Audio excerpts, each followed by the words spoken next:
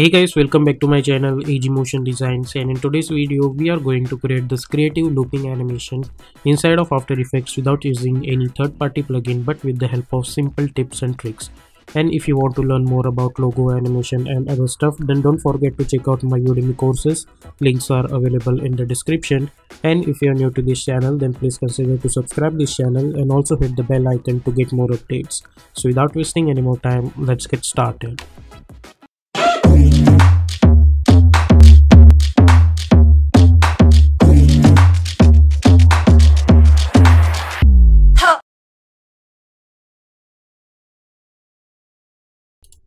so here we are in adobe after effect let's create a new composition. We will call it as main animation. Width is 1920 height is 180 frame rate is 30 duration is 30 second long and background color is white i mean black color and simply hit ok. Then go to choose grid and guide option and simply hit on title selection. Then i'm going to select my ellipse tool. I don't want any stroke for now so i'll delete the stroke.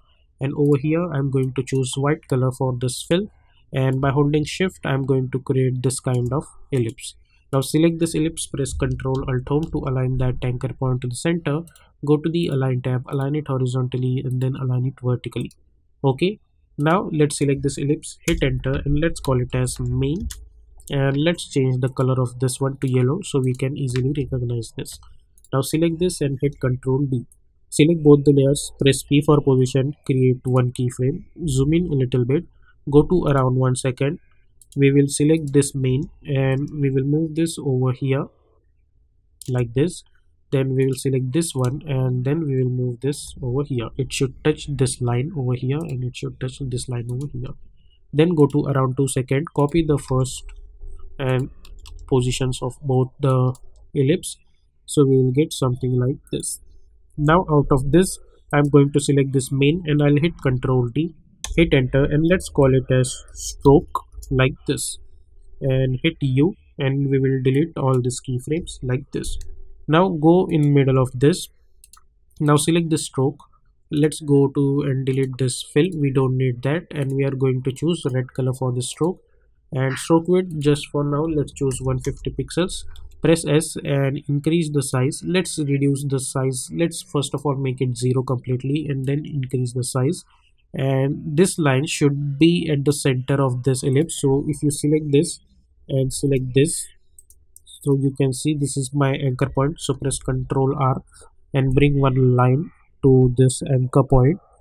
So we can select the stroke and we can adjust the size properly at the center. Not completely at the center but nearly at the center like this. Okay? Now we don't need this ruler. So let's delete this. And now we are going to increase the stroke size until unless it's going to cover the entire ellipse like this okay? So this is going to be cover the ellipse like this. Now select this and go inside the stroke. First of all let's change the color of this one to red. Go to the contents ellipse path unlink the size and create one keyframe. Also go to the stroke and create one keyframe on stroke width. Hit u now like this. Go over here and create another keyframe over here. And at this point what I'm going to do I'm going to increase the stroke size somewhere around like this that it should touch this portion. And at this point uh, I'm going to decrease the size of it let's say 1 but only on y-axis like this. Okay?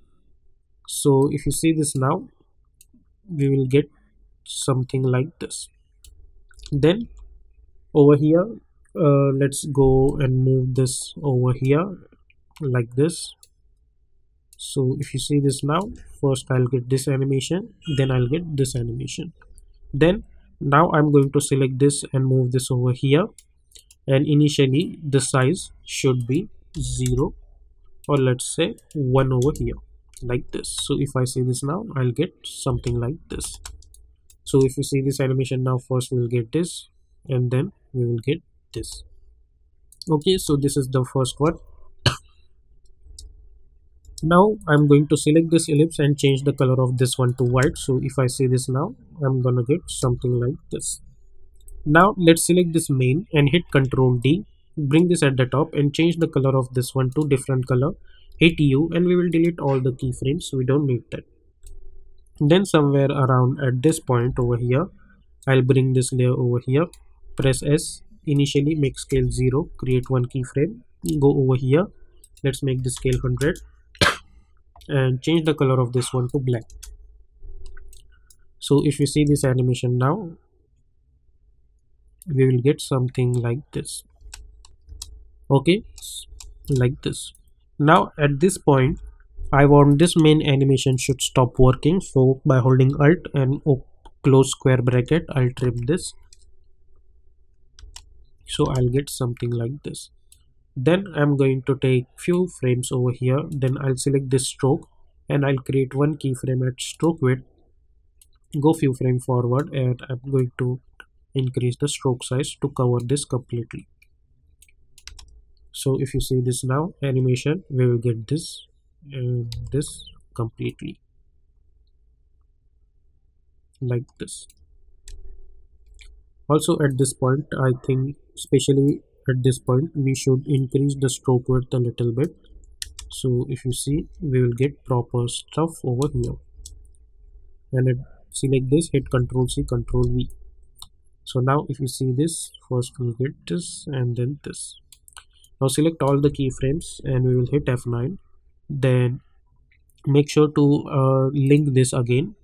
Select this and hit f9 go to the graph editor right click and make sure that you are in edit speed graph. Select all of this graph by holding shift move one handle over here and move one handle over here.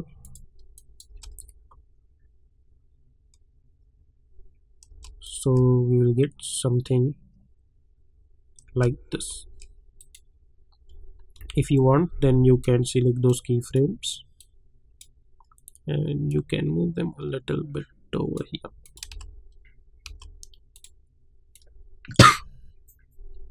Yeah. Now this is my last portion over here. So simply select all of this and press ctrl shift c. And let's call it as one.